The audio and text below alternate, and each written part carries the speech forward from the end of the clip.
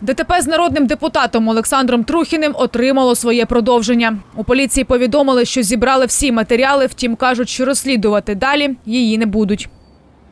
Відповідно до законодавства, в разі наявності інформації про можливе скоєння злочину спецсуб'єктом, в даному випадку народним депутатом України, процесуальний керівник зобов'язаний змінити підслідність. Тож слідчі поліції надіслали листа до прокуратури із клопотанням про передачу матеріалів вказаного кримінального провадження до відповідного правоохоронного органу. Наразі підслідність визначена за Державним бюро розслідувань.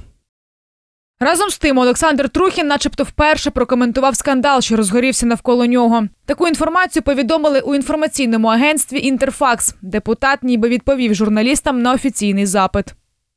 Відразу після інциденту я сам зв'язався з колегами по партії, повідомив про те, що трапилося. Так, я дійсно був на місці аварії і не збирався цього приховувати ні тоді, ні зараз. Під час аварії сильно вдарився головою. Працівники швидкої допомоги, які прибули на місце події, діагностували закриту черепно-мозкову травму і гіпертонічний криз.